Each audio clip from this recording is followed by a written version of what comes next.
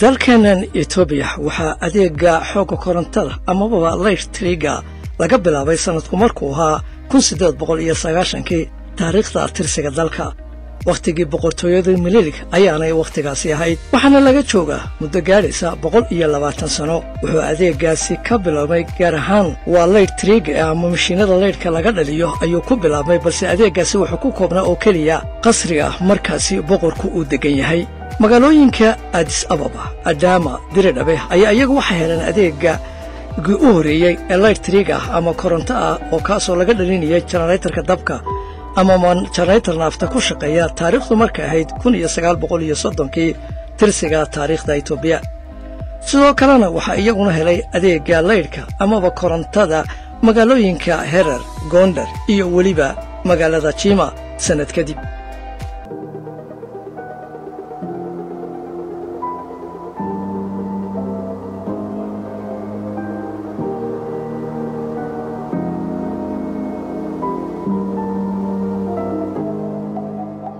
dalkan etoobiya jugraafi ahaan wuxuu u badan yahay dhul beereley ah oo jooggiisu uu markaasi sarreeyo waxaana dalka mara laba iyo toban webi oo afar ka mid ah ay markaasi dhex mushaxaan deegaanka soomaalida. Qulqulka biyaha webiga ayaa waxay noqdeen haddaba kuwo ku socda xawli aad u sarreeya kaasoo laga dhalin karo xoogga koronto amaba laydhka waxaa la qorsheeyey ka faa'iidaysiga biyaha webiyada socda oo markaasi laga dhalinayo quwadda korontada ee loo yaqaanno hydroelectric bower kaasoo laga maarmaan ka dhigaya in markaasi lagaga maarmo quwadda laga dhaliyo jenaraytarka amaba jenaraytarka shidaalka ku shaqeeya. Waxaa lagu tallaabsaday oo la hirgeliyey mashruuca oo dhisayo biyo-xidheenno markaasi laga dhalinayo xoogga korontada. Waxaa la dhagax dhigay sannadku markuu ahaa kun sagaal boqol lixdan iyo shantii taariikhda dalka mashruuca dhismaha biyo-xidheenka finjar halka sannadka kun iyo sagaal boqol iyo siddeetankiina laga shaqaysiiyey mashruuca biyo-xidheenka malka oo markaasi laga dhalinayay quwadda korontada. Sidoo kale mashruuca kale ayaa isagana la dhagax dhigay oo ah mashruuca biyo-xidheenka qooqa oo markaasi isagana laga dhalinayo xoogga korontada. Iyo mashruuca weyn ee markaasi isagana la yidhaahdo jis abay oo markaasi isaguna mid korontada laga dhalinayo biyaha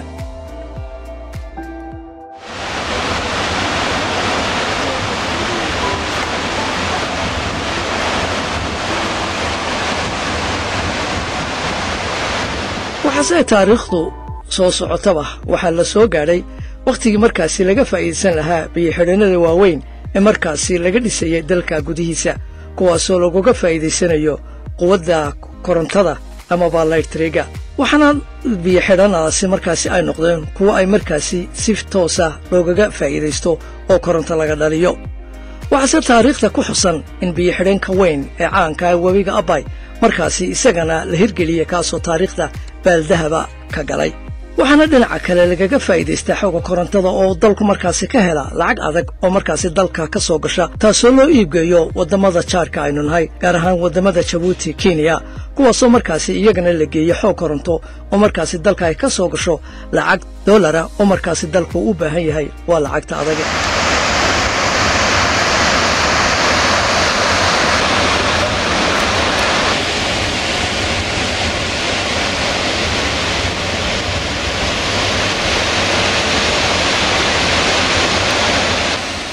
deegaanka soomaalidu haddaba ka mid ah deegaanada uu ka kooban yahay dalka etoobiya wuxuu yahay mid markaasi aad waa ka labaad ee markaasi u ballaadhan deegaannada dalka. Adeegga xoogga korontada waa markii ugu horraysay haddaba lagu arkay sannadku markuu ahaa kun sagaal boqol soddon iyo lixdii waa xilligii talyaanigu uu qabsaday dalka. Kaasi oo markaasi ay samaysteen waa ciidamada talyaaniga janaytarro ku shaqaynaya markaasi naafto oo markaasi koronto dhalinaya waxaana lagu arkay markii u horraysay magaalada jigjiga balse sannado badan kadib waxaa magaalada jigjiga ay heshay xoog koronto ama balaytiri kaasoo laga soo jiiday magaalada herar. Taariikhdu marka ahayd kun sagaal boqol konton iyo afartii taariikhda dalka etoobiya ayaa waxay jigjiga heshay koronto. Balse kun sagaal boqol toddobaatan iyo lixdii wakhtigaasi oo wakhtiga xukuumaddii dargigu ay dalka ka talinaysay ayaa jigjiga waxay heshay xoog koronto oo markaasi ka awood badan kii hore lagana soo jiiday magaalada herar lana soo gaadhsiiyey magaalada jigjiga.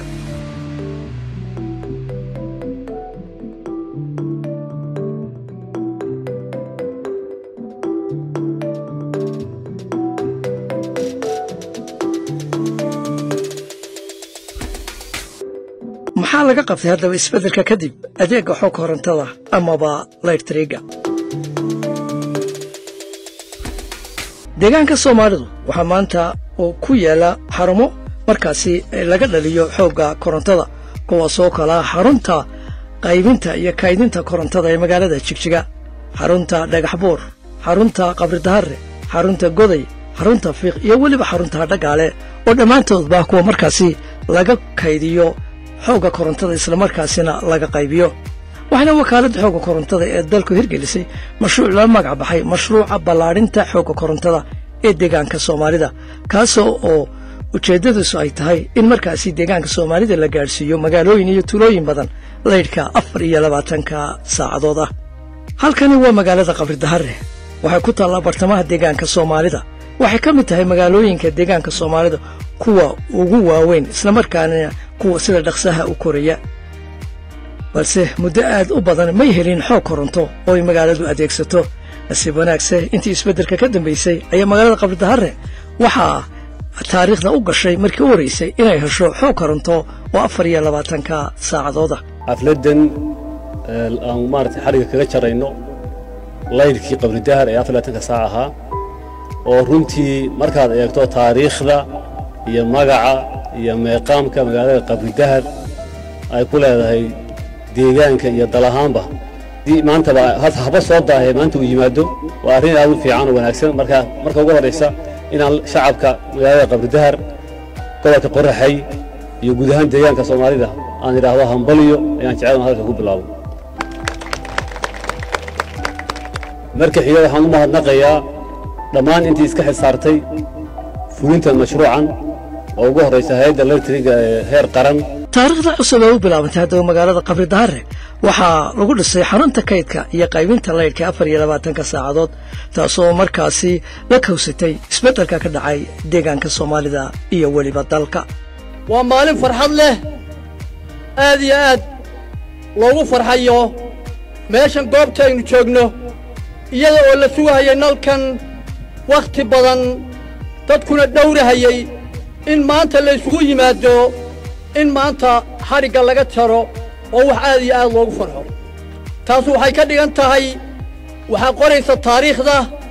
Taariikhdu iyadaa isqorta ruux keliyu ma qoro. Wax kasta oo la sameeyo wixii xun iyo wixii sanba taariikhdaa qorta. Marka maanta waa wixii fiicnaa taariikhdaa qoraysa. Wakhtiga ay la kulantayna oo wakhti dawladda xukuumadda deegaanka soomaaliya madaxdeedii ay halka fadhido. Walaalayaal waxaad ogsoonaataan wax kasta oo midnimo loo qabto ama loo midoobo ama walaalnimo iyo midnimo lagu wada socdo in la gaadhi guushiisa. Taas waxay idiin caddaynaysaa midnimo la'aan inaan wax lagu qabsan karaa jirin taas haddii gacmaha laysqabsado oo ruuxba ruuxa kale waxa uu yahay ogaado oo loo ilaaliyo darajadiisa iyo dadnimadiisa wuxuu qabto inaynu gaadhi karno meelo badan oo inaan hadda hore gaadhin magaalada dhagaxbuur waa caasimadda gobolka jarar waxay heshay isbeddelka kadib adeegga xoogga koronto afar iyo labaatanka saacadooda. Waxaanu magaalada laydhku ku soo kordhiyey qurux iyo weliba bilic taasoo ay dadku kaga faa'iidaysanayaan adeegyada badan ee markaasi laga helo dhinaca laydhka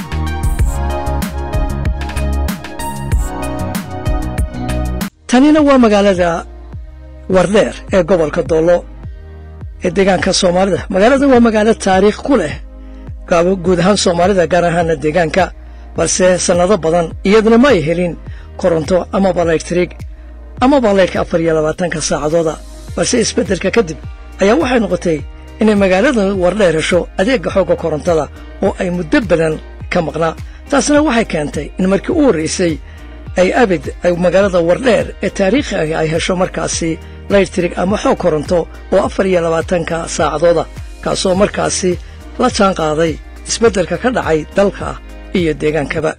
Magaalo nolosheed laydh iyo biyo wey haddii markaa biyihii iyo laydhkii meeshii la keeno dawladdu waxay qabanaysa waxaa ka badanaya dadka intaa u soo xilanaya nolosha ka samaysanaya. Marka runtii waa bilow aad u fiican waxaan rajaynaynaa in lasii ballaadhiyo oo magaalada laydhka hadda waxaa la ii sheegay in laydhkii hore lagu xidhay muxuu ahaa laydhka hore sii jiray lagu xidhiidhiyey laydhka afartanka saac ahaa dadku saacado kooban bay heli jireen laydh laakiin hadda afartan saac bay haysanayaan laakiin xagga gaadhitaanka magaalada in lasii ballaadhiyo oo ballaadhintiisina laga shaqeeyo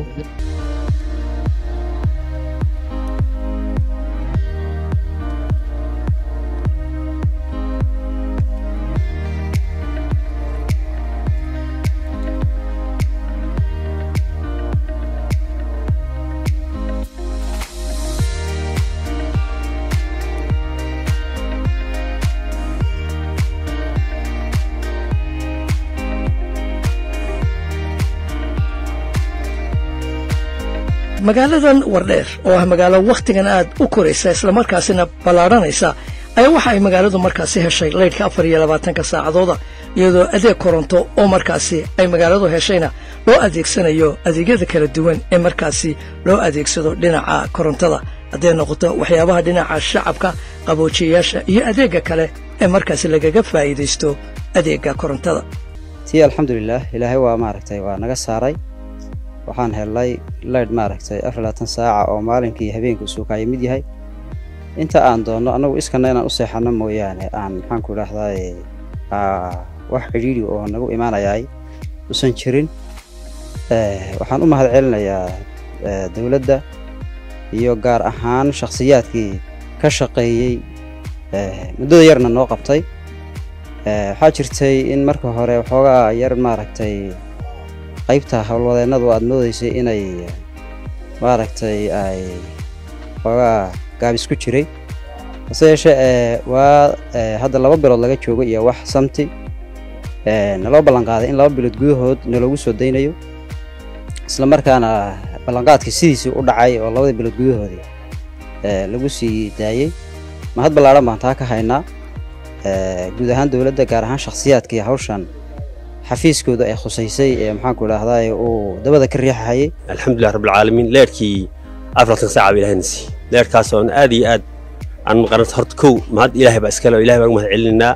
Talabaad xukuumaddan maaragtay yaan mahadda labaad siinaynaa tan federaalka iyo tan dowlad deegaanka. Markii leer la'aanta aan ahayn dee waxba maaragtay waxba maaragtay nooma nooma suuroobaynin. Waayo leer la'aanta dee waa nolosha kow buu ka yahay mugdi baan joognay. Habeenkii waxaanu ku kala yaaci jirnay magaalada casarkii idoon qoraxdu dhicin. Taasoo ay keenaysa dee laydh la'aanta iyo mugdiga oo qof walba gurigiisu geli jiray. Haddase twenty four hours waan shaqaysanaa.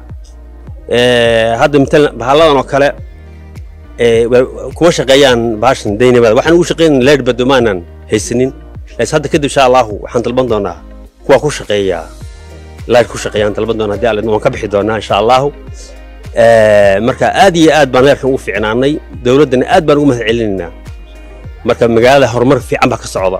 Leerkan uu kowkaya waxaan u mahad celinaynaa intii ka soo shaqaysa oo intaa noo soo waday leyrkan dhacnaydka maantana soo gaaray. Alxamdulilah ilaah baa ku mahadlay leyrkan maantana soo gaaray oo dhacnaydka wuxuu naga bedelay baahiyo aad u fara badan. Magaalada tallaagadaheedu dhammaan waa dansanaayeen. Saasaa ogjasiinkugooda baxay. Laguma shaqaysanaynin ciddii markaa motoor yar iyo wax iska shidanayso oo iyad maaragtay baahideeda dee dabarin karta mooyaane. Dadkii masaakiinta ahaa oo loogu talagalay saa unbay wixii ay ka shaqayn lahaayeen oo dhan shaqadoodu u xayirnayd halka taleefon waxaa loogu dabayn jiray ama labaatan ama soddon weliba soolarahoo daqiiqadba uu ka macaanaanayo. Marka waxaan ka mahad ilaahay baa mahadleh waxaan ka mahad oo bulshada noo keentay iyo dadkii ka soo shaqeeyay aan uga mahad celinaynaa maanta dhacanaydka oo wardheer soo gaara afar labaatanka saac ku shidan nabadda iyo xasiloonnida ka hana qaaday deegaanka soomaalida isbeddelka kadib waxay hoggaanka u qabatay in adeegga bulshada la gaadhsiiyo kaabayaasha dhaqaalaha gaar ahaana adeegga ugu horreeyo oo xoogga korontada kaasoo markaasi suurtagal ka dhigay in si nabada ay shaqaalaha wakaaladda xoogga korontadu ay markaasi uga shaqeeyaan adeeggaasi islamarkaana ay u gaadhsiiyaan magaalooyinka deegaanka soomaalida ee fogfog iyo weliba goobaha miyiga. Taasina waxaa sal u ah xasiloonnida iyo nabadgelyada ka hana qaaday deegaanka soomaalida isbeddelka kadib.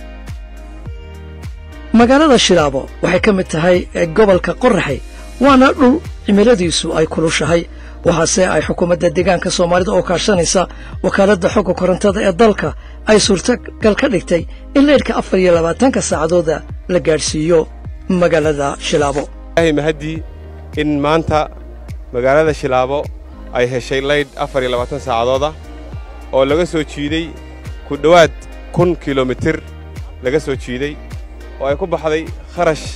Marka la isku daro qabaleeyada iyo tuulooyinka u dhexeeya qabridahar iyo shilaabo oo iyagana laydhka la geliyey qayb qaybna la gelin doono boqol iyo toban milyan oo bir. Qabridahar iyo shilaabona waxay isu jiraan boqol iyo toban kilomitir horumarkan waa horumar lagu faani karo. Intii isbeddelku u dhacayna degmada shilaabo waa degmadii siddeed iyo tobnaad ee laydh afar iyo labaatan saaca la geliye weeyaan. Waxaa naga go'an in sagaashan iyo saddexda degmo ee deegaanku ka kooban yahay ay wada helaan laydhkaas ay maanta shilaabo heshay hadduu ilaahay yidhaahdo. Waxaan rabaa inaan u mahadnaqo intii ka shaqaysay hawshan oo ay ku jiraan mas'uuliyiinta xukuumadda iyo mas'uuliyiinta hay'adda laydhka oo ay nagala jooga hadda midigteyda mukhtaar iyo cali nagala joogaan.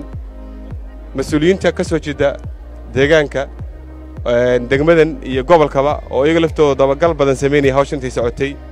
Iyo gaar ahaan maxamed yuusuf rooble oo si dhab ah uga shaqeeyey in laydhkaas meeshan uu yimaado. Hadday noqoto dhankii dabagalka hadday noqoto dhanka xusuusinta hadday noqoto in la xalliyo kolba dhibaatada timaadda oo mararka qaarkood dee dhibaatooyin baa imanaya. Waxbaa loo baahanayaa qalab baa loo baahanayaa dad in meel lageeyaa loo baahanayaa.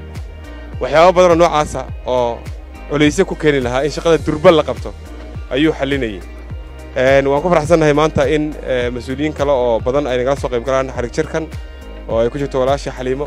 Farxad ayay ii tahay maanta oo ah maalintii iigu horraysay ee aan imaaddo degmada shilaabo.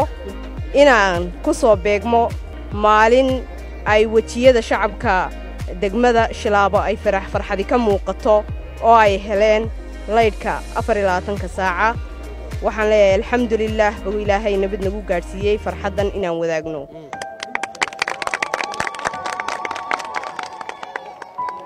Intaa dabadeed fursad aad u weyn weeyaan.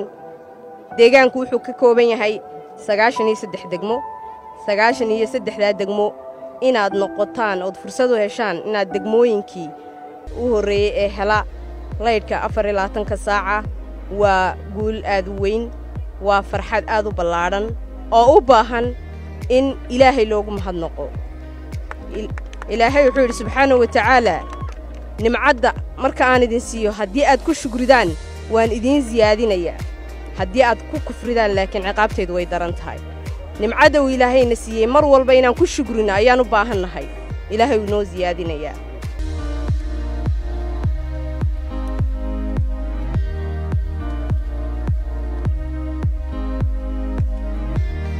adeegga xogga korontada ee gaadhay magaalada shilaabo waxaa laga soo jeeday xarunta kaydka ah iyo qaybinta ee magaalada qabridahare waxaana shacabku aad ugu farxeen adeeggaasi markaasi la soo gaadhsiiyey kaasoo rajo weyn geliyey. Waxaana u bilaabmay baab cusub oo markaasi rajo weyn ah kaasoo la tallaabsaday isbeddelka kadib waxaanay dadku bilaabeen inay ka faa'iidaystaan adeeggaasi xoogga korontada sida iyagoo markaasi isticmaalaya goobahooda ganacsiga u isticmaalaya iyo goobaha kaleba. Meeshii bawataha qaarna bambarwaaqa loo yaqaanay. Intaynu isugu nimaado layna inaan ka daaranna caawa oo madaxdii deegaanka hogaaminaysa ay taagan yahaan waa mahad ilaahay weeye. Ilaahay inaan ku shukrino sidaa loo sheegay waa mashruucan waa mashruuc weyn weeye dadko waxaa laga yaabaa intiisa badan ma yaqaano mashruucanu dhinac walba u dhacaa dhinac walba u dhacaa ninka addimahaya wuxuu ku addimahayaa koronto waxbaan idiin sheegayey ninka kitaab akhrinaya waa inuu laydh helo isbitaalku waa inuu helo koronto uu ku shaqeeyo nooc walba u dhacaya intaasoo nooc baa loo adeegsan karaa waxaan leenahay saacadaha gashada mashruuca boqol iyo toban milyan baa ku baxdaa waa boqol iyo inta kilomitir aan soo marnay hadda qabridaar halkan waxaan ku dabaaldegaynaa magaranaysa xalajarka leerka afaraatanka saaca magaranaysa marka aad baan u farxsannahay halkan waxaa shucuurtooda ka muujinahay dhalinyarta dhammaan iyo bulshada dhammaantood. Caawa halkan bay ku damaashaadayaan run ahaantii caawa waa habeen taariikh noo ah maadaama aanna waxaan hore aanna u barnin xukuumaddan hadda hana qaaday aad iyo aad. Baan mataqaannaa ee ugu mahad celinaa sababtoo waxyaalo farbaan bay noo qabatay. Annaga oo dansan bay mugdig naga qaaday leerkana boqolkiiba boqol baan joognaa wax fiican oo fiican oo fiican baad u qabateen deegaanka iyo dowladdaba iyo shacabkaba waadna ku mahadsan tihiin wax horumar oo ka horreeyeyna ma jirkaan dhihi karaa boqolkiiba boqol allah idin markayo wuxuu faa'iido leeyahay. Aniga dukaan haystaa jaarshayaashii tallaagadihii cuntadii karsigeedii khasaaradihii ayu nooc wax kastoo nolol wax nolol ka horreeya ma jirtaan dhihi karaa kuwa maraxadii noo shidan meesha cibaadadu aad iyo aad u kulushahay xagga maraxad baa ku xidhan xagga maraxad baa ku xidhan. Qabowga waa helay cuntadii karsigeeda waan helay. Waxaa weeye waxaan wax nolol ka horreeya ma jirtaan dhihi karaa maasha allah. Maasha allah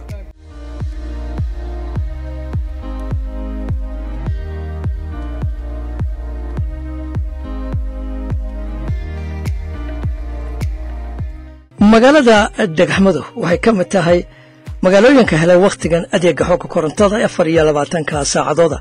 Magaalada dhagaxmadu ma lahayn sannado badan oo jiray adeeg dhinaca koronto ama layrtii laakiin isbeddelka kadib ayaa waxay magaaladani heshay adeegga koronto oo afar iyo labaatanka saacadooda. Laydhgelinta telefoonka bangiyada federaalka noo qaabilsanaa. Hawsha ay gacanta ku hayeen qorshaha miisaaniyadda ay u qabteen iyo qarashkii markaa ku baxaya siiba tiirarka oo kale lacag shan kuna calaa tiir u dhexaysay halkii tiir lacag shan kuna u dhexaysay maadaama marka qiimihii isbixin waayey muddo inta noo hirgeshay laba jibaarkeed baa noo hirgeli lahayd. Ka xafiis horumarin ahaan hawsha muhiimadda ay bulshadu u leedahay annagoo eegayno ayaa waxaan qaadanay inaan lacag ku bixinno oo federaalkunbaa iskale shaqadan aanan ku daynine. Afar iyo labaatan degmo ayuu gariirkan aan haysanno gaari karayaa laydhka afar iyo toban kun iyo siyaado tiir bay u baahan yihiin. Tiirashaa ma aha kuwa magaalada la gelinayo. Waa kuwa stethonka laga soo qaadaya laydhka iyo magaalada la geynayo kuwa shubka ahee waaweyn ee weeyaan. Yay u baahan yihiin. Labadii kun ee u horraysay baan labada kun iyo shan iyo tobankii lacag ku kabnay shan milyan agagaarkeeda ah sanadkanna insha allahu intaa in leeg baan ku kabaynaa si afar iyo labaatanka degme iyo boqolaal tuulo oo hoos imanayo uu tirarka u gaadho labadaa kun ee tiir een kabka ka samaynay siddeed boqol oo ka mida dhagaxmadow waa fursadda ugu horraysa ka faa'idaysatay maanta. Iyo qarsadula marka siddeed boqol oo ka mida waa dhagaxmadow marka waa alla mahadii waa maalin farxad leh waa maalin weyn. Annagana dhammaantanno sharaf bay noo tahay maantu inaan idinkala soo qayb galnay. Arrinta koowaad waxay ahayd laydhka afar iyo labaatanka saaca maanta waa ilaahay mahaddii laydhkii afar iyo labaatanka saaca in magaalada la soo gaadhsiiyey ilaahay baan uga mahadnaqaynaa. Bulshada xubnihii halkan joogay xukuumadday u mahadnaqayeen annagu haddaannu xukuumaddii nahayna waxaan leenahay laa shukra cala alwaajib. Waajibna saaraa oo aan gudanaynay bay ahayd waajibna saaraa oo mas'uuliyaddeeda aan lahayn oo aan gudannay bay ahayd adduunka maanta la joogana elektricity la'aan horumar lama gaadho. Marka horta bayskii waan hellaye inaynu isticmaallo aynu ka faa'iidaysannaa loo baahan yahay. Dhammaan dadkaa joogaa wuxuu ka soo wada qayb galay oo masaafadaa dheer u soo galay. Inuu ka qayb galo farxaddaas uu bulshadaa la qaybsado annaguna soo dhowaadaan leenahay. Dhammaantanna waxaannu leenahay gamco furan ku soo dhowaada kadib markii nabaddii la helay ee naxariistii ilaahayna soo degtay ayaynu horumarka gaadhaynaa asalka nabadda u ah. Marka inay nabaddaana ku fara adeygno oo aan ilaalinno ruux walba ruuxa ku dhow dariskiisa ilaaliyo. Haddii nabad la waayo waxba lama keeni karayo ilaahayna naxariistiisa wuu la laabani. Marka inaynu nabaddaa ku dadaallo kuna xamdino. Dhagaxmadow waxaa haddaba xadhikahan laydhka looga soo jeeday magaalada dhagaxbuur waxaan ka codsanaynaa dadaalkii faraha badan ee xisbigeennu uu bixiyey iyo dowladdeennu ee aynu ku shidannay maanta twenty four hour laydhkii ahaa. Qodobka koowaad waxaan codsanaynaa waxa weeye annagoo shacabka ah in la sii ballaadhiyo horta laydhka oo magaalada gudaheedana lagu ballaadhiyo qabaleegan ceelku maaragtay uu ku yaallo ee sigiisana la gaadhsiiyo si biyaha looga cabo la gaadhsiiyo. Sidoo kale si ayna istaakul ugu noqonin qabaleyadii uu soo mariyey ee maaragtay lebiga iyo qabaleyada lamidka ay laftigooda in loo geliyo si ayna istaakul u noqonin. Waa waxyaalahan codsanayna ka mid tahay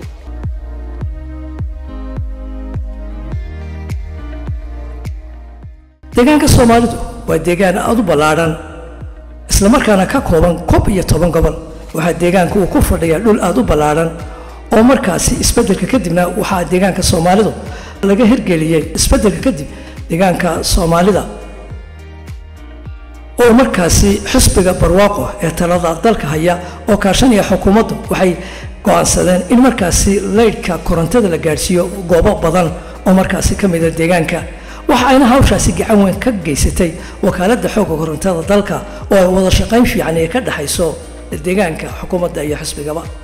Magaalooyin badan ayaa markaasi waxaa la gaadhsiiyey xoogga korontada.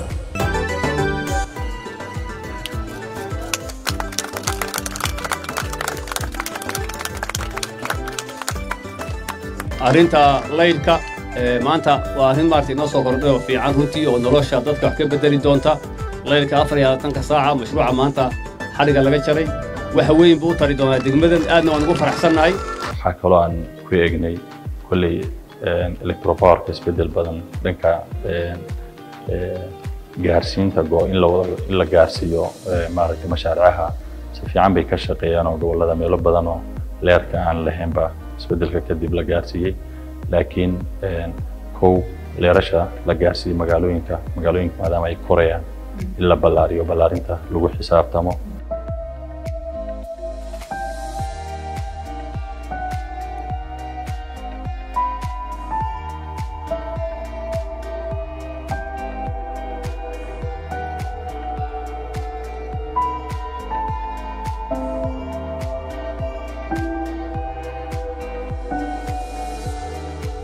Adeega korontada ee markaasi la gaadhsiiyey deegaanka soomaalida goobaha aadka u fogfog waxay markaasi suurtagal ka dhigtay inay dadku ay markaasi ay ka faa'iidaystaan adeeggaasi. Adeegga korontada ama laydhka ayaa waxaa haddaba la gaadhsiiyey magaalooyin badan oo deegaanka soomaalida. Iyadoo sidoo kalena looga faa'iidaysanayo adeegga dhinaca kale ee markaasi laga dhaliyo qorraxda.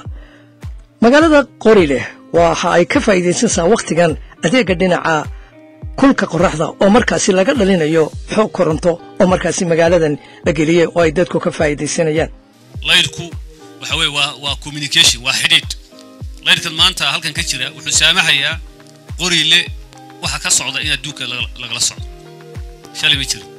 Marka waa arrin runtii keeni doonta in aaggan oo dhan dadka ku nooli ay ay ay ballaariyaan magaaladan.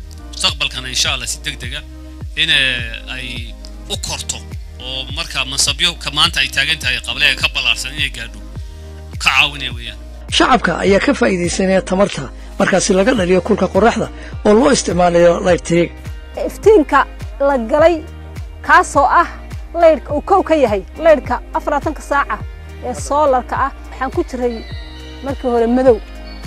Dadku wuxuu shidan jiray fayruus wuxuu shidan jiray laambad wuxuu shidan jiray toosh. Xagga kale xilliga kulaylaha ay tahay dadku wuxuu cabbi jiray biyo kulul qofka dadaalaya biyaha wuu xarfisan jiray. Intii madibad lagu shubaa biyaha la xarfisan jiray. Kale xagga warisgaarsiinta dadku waxaa laga yaabaa inay waayaanba meelay ku dabaystaan moobeelada soolar in qofka toban riyaal laga qaado.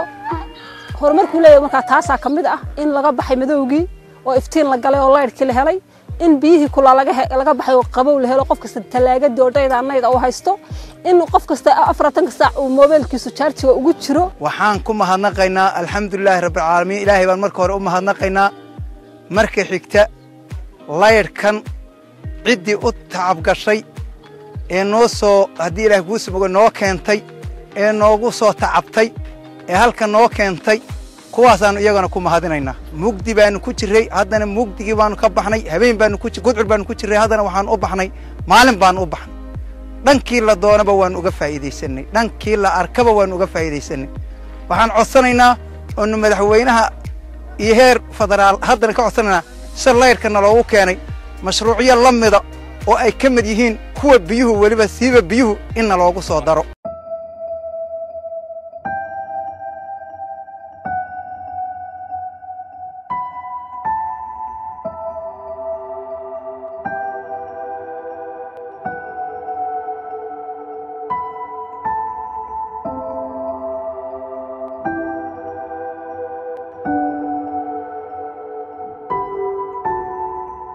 gabro makaahil gabrow maareeyaha mashruuca ballaadhinta laydhka ee dowladda deegaanka soomaalida ayaa ka hadlay adeega ka faa'idaysiga laydh triga amaba ka faa'idaysiga korontada iyo weliba ka faa'idaysiga laydhka qoraxda laga dhalinayo የፕሮጀክት ቢሮ ዋና ዓላማ ኤሌክትሪክ ማዳረስ በመሆኑ በተለያዩ አቅጣጫዎች እየሰራ ይገኛል።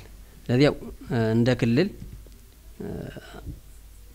ወደ ስድስት ሳብስቴሽኖች አሉን።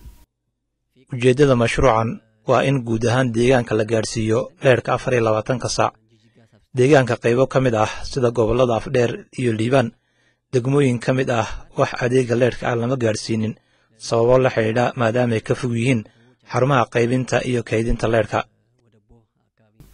እንደ ሀገራዊ የተያያዘ እቅድ አለ። በሀያ ሀያ ሁለት ላይ የኤሌክትሪክ ተደራሽነት ሙሉ ተደራሽነት ለማድረስ በሀያ ሀያ ሁለት ላይ ሙሉ ኤሌክትሪክ ማዳረስ የሚል እቅድ አለ። dal ahaan qorshaha la qaatay ayaa ah in labada kun iyo labayo labaatanka lix sanno kadib in dhammaan dalka oo dhan la gaadhsiiyo leerhka ዋናው የኤሌክትሪክ አክሰስ ወደ ገጠሮች ማዳረስ በጣም ብዙ ችግሮች ይፈታል። መብራት ለሁሉም በአሁኑ ሰዓት ህይወት ነው። የውሃ አገልግሎት በውሃ ነው። የጤና አገልግሎት በኤሌክትሪክ ነው። ስለዚህ ኤሌክትሪክ ከሌለ ሁሉም የጥቃቅና አነስተኛ መደራጀትም የለም። የህብረተሰቡ ኑሮም በጣም ጨለማ ማለት ያው ምንም ነገር አማራጭ የለውም። ስለዚህ ኤሌክትሪክ ማለት ለአንድ ህብረተሰብ ለአንድ ሀገር faa'iidada leerhku uu leeyahay bulshada kobaca dhaqaalaha iyo koritaanka magaalooyinka waxaa tusaale inoogu fulan magaalooyinka dhagax buur iyo qabridahar waxaana suurto gashay in laga as-aaso warshado iyo qaybo kale oo ku shaqeeya leerhka si guud leerhku isbeddelka bulshada kaalin weyn ayuu ku leeyahay miyi iyo magaalaba waxaanan wadnaa annagoo kaashanayna dowladda deegaanka shaqooyin bulshada looga saarayo mugdiga. Ilaa hadda deegaanka soomaalida waxaa adeega korontada la gaadhsiiyey boqol toddobaatan iyo kow magaalo iyo tuulooyin isugu jira. Isbeddelkii ka hor tirada magaalooyinka iyo tuulooyinka helay adeega korontadu waxay keliyahay toddobaatan iyo saddex magaalo iyo tuulooyin oo helay adeega hase ahaatee isbeddelkii kadib muddadii lixdii sano ee la soo dhaafay waxaa lagu guulaystay in adeega korontada la gaadhsiiyo sagaashan iyo siddeed magaalo iyo tuulooyinka deegaanka. Sidoo kale tirada macaamiisha helay saacadaha leedhka ayaa gaadhay toddoba kun shan boqol konton iyo lix macaamiil inkastoo dhammaan deegaanka aan la gaadhsiinin adeega leedhka hase ahaatee marka la eego shaqooyinka la qabtay waxay muujinayaan natiijooyin wanaagsan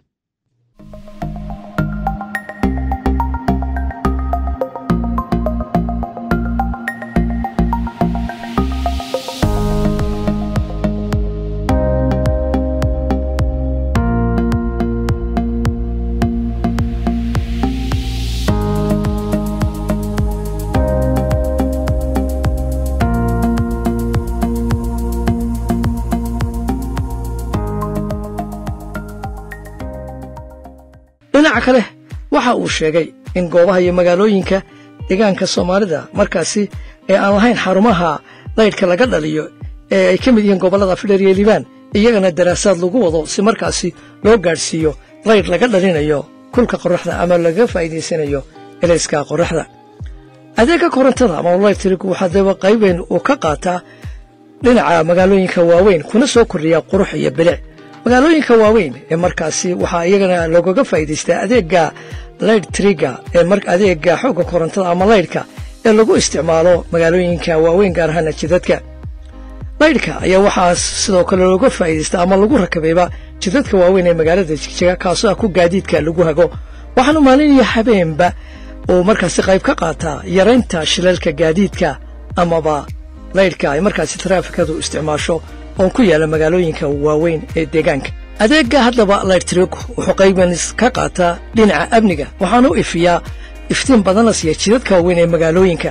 Islamarkaasina waxa uu sahlaa meheradaha ganacsigu inay noqdaan kuwa wakhtigii habeenkii soo jeeda amaba ka faa'iidaystee laydhkan iyadoo korontadan ama laydhkan magaalooyinka la geliyey ay yihiin kuwa siyaabo badan markaasi loo isticmaalo oo lagaga faa'iidaysto dad badan ayaa waxay kala soo baxaan haddaba nolol maalimoodkooda adeegga waxaa kaloo lagaga faa'iidaysta dhinaca farsamada gacanta oo waxaa ku shaqaysta dad badan oo markaasi sameeya qalabyada kala duwan ee ah si kuwa guryaha amaba kuwa xafiisyada amaba waxyaabaha kale ee qaboojiyaasha iyo ay ka mid yihiin khasaradaha dharka lagu maydho.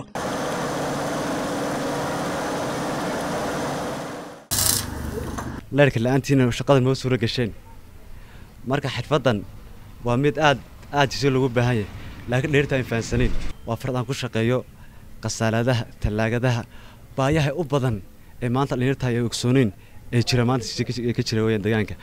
Ay qolooyin galaysta aan la adeegsado. Marka xirfaddani waa mid aad lagu baahan yahay. Oon leeyahay dhallinyarta ha ka faa'iidaysa xirfadaha yaryar aan la ogsooneyn nolosha hadda berigii hore iyo nolosha hadda farqi weyn baa u dhexeeya different oo dhexeeya. Alxamdulilah rabbilcaalamiin walaa lama soo koobi karayo